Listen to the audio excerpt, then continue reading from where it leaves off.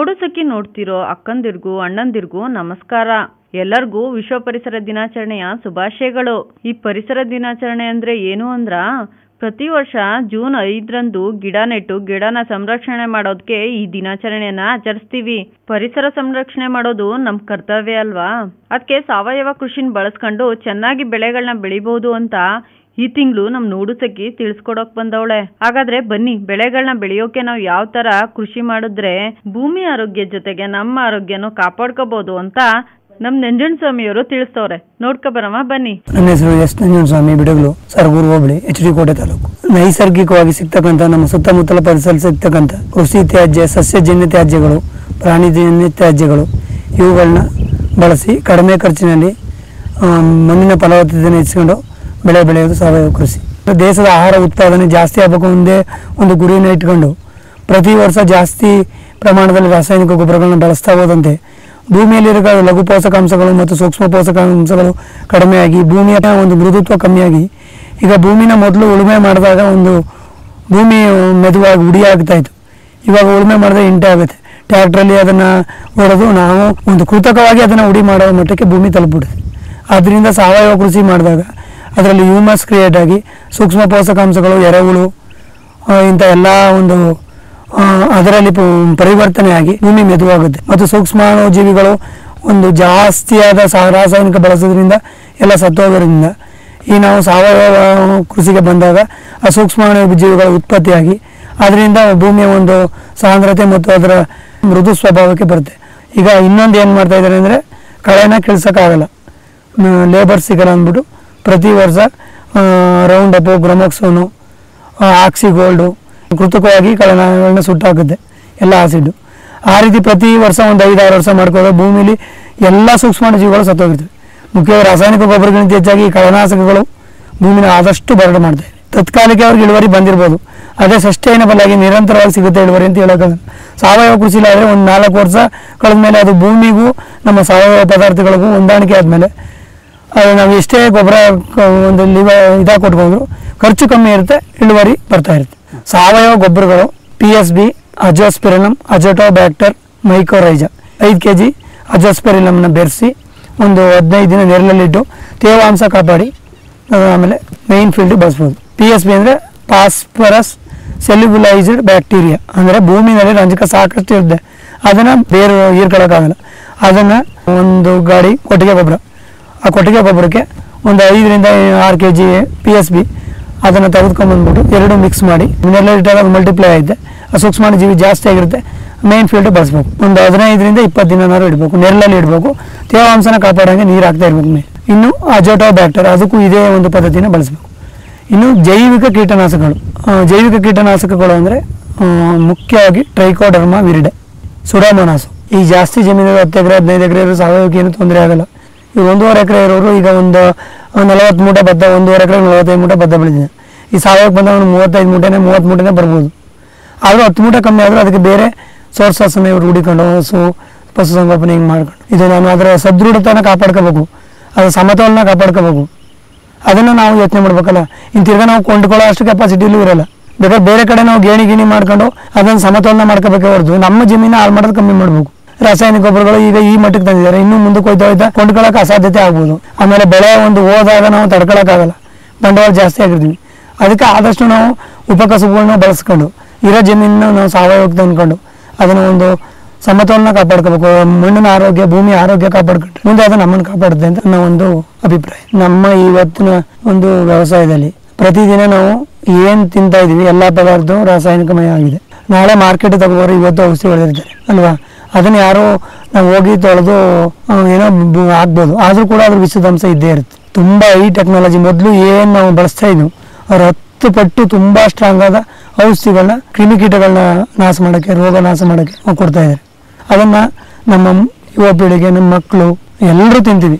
ಪ್ರತಿದಿನ ತಿಂದದು ಆರೋಗ್ಯ ಕೆಡ್ತದೆ. ಈಗ ಯಾವತ್ತು ಎಪ್ಪತ್ತು, ಎಂಬತ್ತು ತೊಂಬತ್ತಿದ್ದವರು ಐವತ್ತು ವರ್ಷಕ್ಕೆ, ನಲವತ್ತು ವರ್ಷ, ಮೂವತ್ತು ವರ್ಷ, ಇಪ್ಪತ್ತು ವರ್ಷಕ್ಕೆ ಶುಗರು ಬಿ ಪಿ ಎಲ್ಲ ಕಾಯಿಲೆಗಳು ಪಾರ್ಸೋ ಅಟ್ಯಾಕ್ ಐತೆ ಕ್ಯಾನ್ಸರು ನಾವಲ್ಲದೆ ಪರಿಸರಕ್ಕೆ ಹೊಡೆಯೋದ್ರಿಂದ ಪರಿಸರದಲ್ಲಿ ಈಗ ಔಷಧಿ ಹೊಡೆಯೋದ್ರಿಂದ ವಾತಾವರಣಕ್ಕೆಲ್ಲ ಹೋಗುತ್ತೆ ಅದು.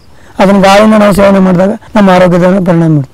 ಆದ್ರಿಂದ ಆದಷ್ಟು ರೈತ ರಾಸಾಯನಿಕನ ಬಿಟ್ಟು ಸಾವಯವಕ್ಕೆ ಬರಬೇಕು. ಆಗ ನನ್ನ ಆರೋಗ್ಯನೂ ಉಳಿಯುತ್ತೆ, ಸಮಾಜನೂ ಬೆಳೆಯುತ್ತೆ. ನಾವು ವಾತಾವರಣನ ಕಲಿಸಿದಾಗಲ್ಲ, ನಾವು ಒಂದು ಕೊಡುಗೆನ ಸಮಾಜಕ್ಕೆ, ಒಂದು ಒಳ್ಳೆಯ ಆಹಾರನ ನಮ್ಮ ಸಮಾಜಕ್ಕೆ ಕೊಟ್ಟಾಗೈತೆ ಆದ್ರಿಂದ ಆದಷ್ಟು ಸಾವಯವಕ್ಕೆ ಬನ್ನಿ. ಸಾವಯವ ಕೃಷಿ ಮಾಡಿ ಭೂಮಿನ ಉಳಿಸಿ ನಮ್ಮ ಮುಂದಿನ ಪೀಳಿಗೆಗೆ ಉತ್ತಮ ಕೊಡುಗೆ ಕೊಡೋಕೆ ಸಾವಯವ ಕೃಷಿಲಿ ಬಳಸೋ ಅಂತ ಗೊಬ್ಬರ ಮತ್ತು ಔಷಧಿಗಳನ್ನ ಹೇಗ್ ಮನೇಲೇ ಮಾಡ್ಕೊಳ್ಳೋದು ಅಂತ ನಮ್ಮ ದೇವಕಮ್ಮ ಅವರು ಹೇಳ್ಕೊಡ್ತಿದ್ದಾರೆ ನೋಡೋಣ ಅಲ್ವಾ? ದೇವಕ್ಕೆಮ್ಮ ಅಂತ ಕಲ್ಲಳ್ಳಿಲಿರೋದು ಜೀವಾಮೃತ ಮಾಡಿ ನಾವು ಇದಕ್ಕೆಲ್ಲ ಹಾಕ್ತೀವಿ ಗೊಬ್ಬರ ಹತ್ತು ಕೆ ಜಿ ಸಗಣಿ, ಆಮೇಲೆ ಅದಕ್ಕೆ ಹತ್ತು ಲೀಟರು ಗಂಜಳ, ಆಮೇಲೆ ಅದಕ್ಕೆ ಎರಡು ಕೆ ಜಿ ಬೆಲ್ಲ, ಮತ್ತು ಎರಡು ಕೆ ಜಿ ಇದೆ ದ್ವಿದಳ ಧಾನ್ಯದ ಪೌಡರು. ಹಾಕಿಬಿಟ್ಟು ಒಂದು ಹಿಡಿ ಮಣ್ಣು. ಅದಕ್ಕೆ ನೀರು ಹಾಕಿ ಡ್ರಮ್ಮಲ್ಲಿ ಹಾಕಿಡಬೇಕು.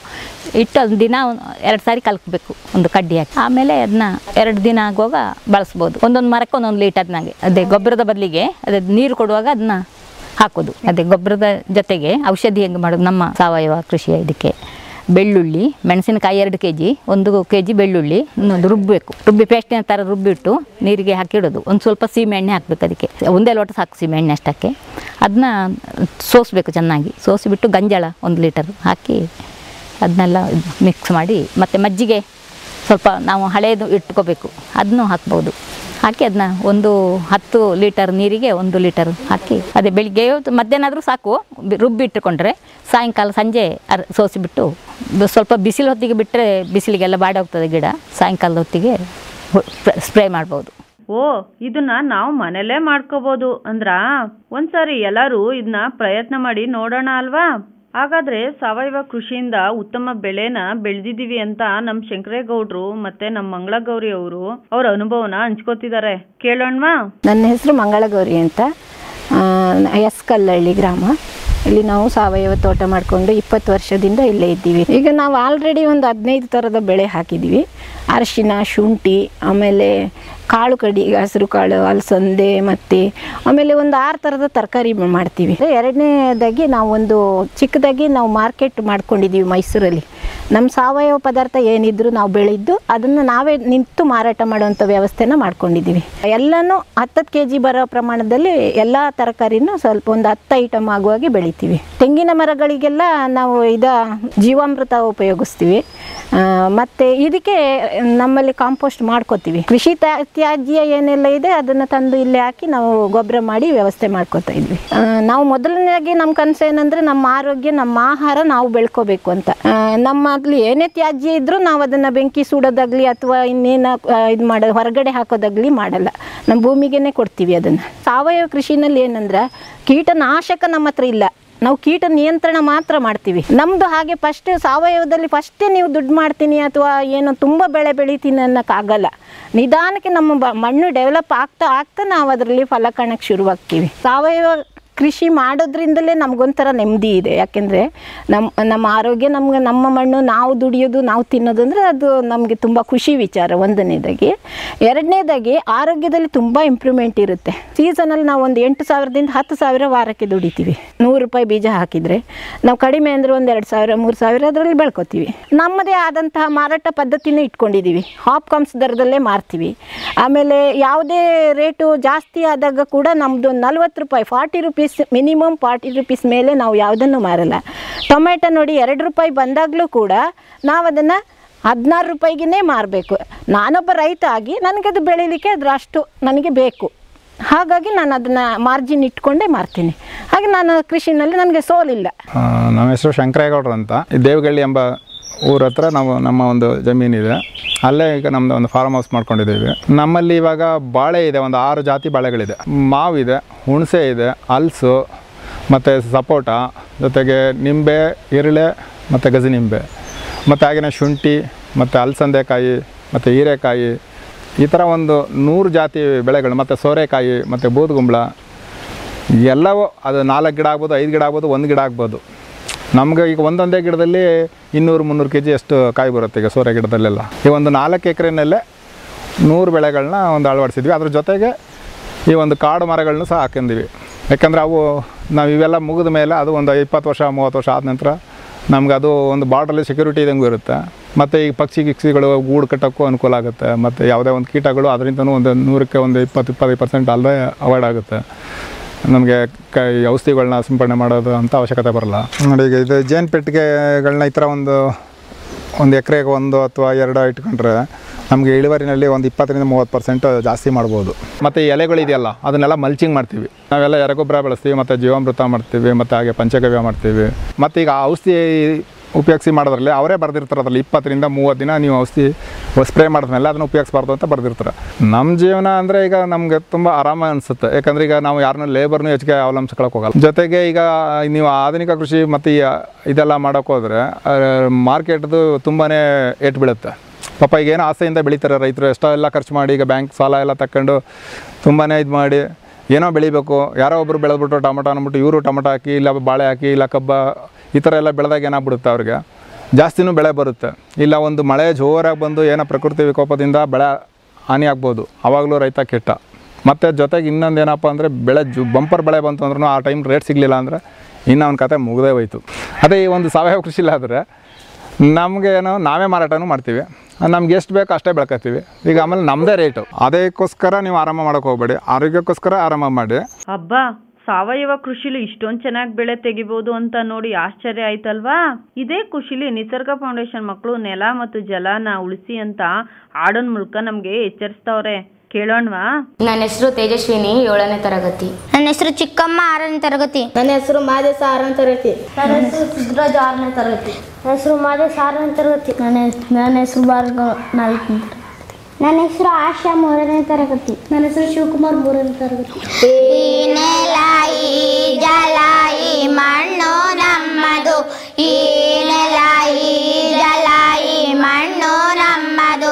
ರಕ್ಷಿಸುವ ಹೊಣೆಗಾರಿಕೆ ನೀವೇ ಯಾರದು ರಕ್ಷಿಸುವ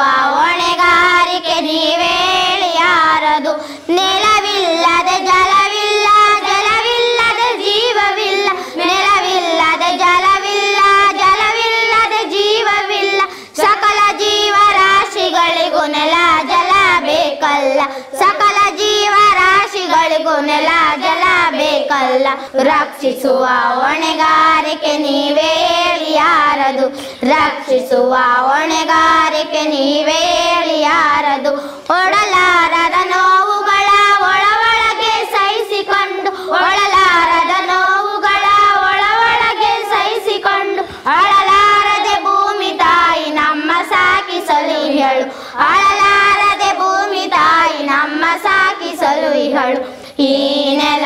ಈ ಜಲ ಈ ಮಣ್ಣು ನಮ್ಮದು.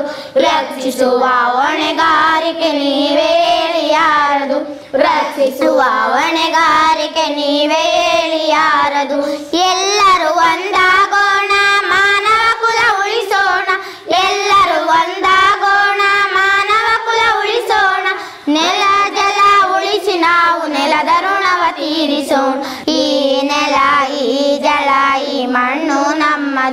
ರಕ್ಷಿಸುವ ಹೊಣೆಗಾರಿಕೆ ನೀವೇಳಿಯಾರದು ರಕ್ಷಿಸುವ ಹೊಣೆಗಾರಿಕೆ ನೀವೇಳಿಯಾರದು ಯಾರದು? ನಮ್ಮ ಹಿಂದಿನ ಪೀಳಿಗೆ ಅವರು ನಮಗೆ ನೆಲ ಜಲನ ಯಾವ ರೀತಿ ಸಂರಕ್ಷಣೆ ಮಾಡಿ ಉಳಿಸ್ಕೊಟ್ಟವರೋ, ಹಂಗೇನೆ ನಾವು ನಮ್ಮ ಮುಂದಿನ ಪೀಳಿಗೆಗೆ ಇದನ್ನ ಉಳಿಸೋದು ನಮ್ಮ ಕರ್ತವ್ಯ ಅಲ್ವಾ? ಈ ತಿಂಗಳಲ್ಲಿ ಪ್ರಕ್ರಿಯೆ ಐ ಟಿ ಫಾರ್ ಚೇಂಜ್ ಸಂಸ್ಥೆಯಿಂದ ಏನೆಲ್ಲ ಕಾರ್ಯಕ್ರಮಗಳು ಮಾಡವ್ರೆ ಅಂತ ನೋಡ್ಕೊಂಡು ಬರವಾ ಬನ್ನಿ. ಐಟಿ ಫಾರ್ ಚೇಂಜ್ ಪ್ರಕ್ರಿಯೆ ವತಿಯಿಂದ ಈ ತಿಂಗಳಲ್ಲಿ ಅತಿಗುಪ್ಪೆ ಗ್ರಾಮದಲ್ಲಿರುವ ಎಲ್ಲಾ ಮಹಿಳಾ ಸಂಘದವರ ಜೊತೆಗೆ ನಮ್ಮ ಮಾಹಿತಿ ಕೇಂದ್ರದ ಮುಂದಿನ ಯೋಜನೆಯನ್ನು ರೂಪಿಸಲಾಯಿತು. ಮುಳ್ಳೂರು ಹಾಗೂ ಅತ್ತಿಗುಪ್ಪೆ ಗ್ರಾಮಗಳಲ್ಲಿ ಹತ್ತನೇ ತರಗತಿ ಮತ್ತು ಪಿಯುಸಿ ಪರೀಕ್ಷೆ ಮುಗಿಸಿರುವ ಹೆಣ್ಣು ಮಕ್ಕಳೊಂದಿಗೆ ಅವರ ಮುಂದಿನ ವಿದ್ಯಾಭ್ಯಾಸ ಹಾಗೂ ತರಬೇತಿಗಳ ಬಗ್ಗೆ ಚರ್ಚಿಸಲಾಯಿತು. ಕಟ್ಟೆಮಳಲವಾಡಿ ಗ್ರಾಮದಲ್ಲಿ ಪ್ರಾಥಮಿಕ ಆರೋಗ್ಯ ಕೇಂದ್ರದ ಸಹಯೋಗದೊಂದಿಗೆ ವಿಶ್ವ ತಾಯಂದಿರ ದಿನಾಚರಣೆಯ ಅಂಗವಾಗಿ ಗರ್ಭಿಣಿಯರು ಮತ್ತು ಬಾಣಂತಿಯರಿಗೆ ಆರೋಗ್ಯ ಅರಿವು ಕಾರ್ಯಕ್ರಮವನ್ನು ಹಮ್ಮಿಕೊಂಡಿದ್ದು, ಈ ಕಾರ್ಯಕ್ರಮದಲ್ಲಿ ಎಲ್ಲರೂ ಆಸಕ್ತಿಯಿಂದ ಪಾಲ್ಗೊಂಡಿದ್ದರು. ಎಲ್ಲಿ ನೋಡಿದ್ರು ಬರೀ ಹಸಿರು ಕಂಡ್ರೆ ಎಷ್ಟು ಸುಂದರವಾಗಿರುತ್ತೆ ಅಲ್ವಾ? ಹಾಗಾದ್ರೆ ಮುಂದಿನ ದಿನಗಳಲ್ಲಿ ಹೆಚ್ಚು ಮರ ಗಿಡಗಳನ್ನ ಬೆಳೆಸಿ ಪರಿಸರ ದಿನಾಚರಣೆನ ಆಚರಿಸೋಣ ಅಲ್ವಾ?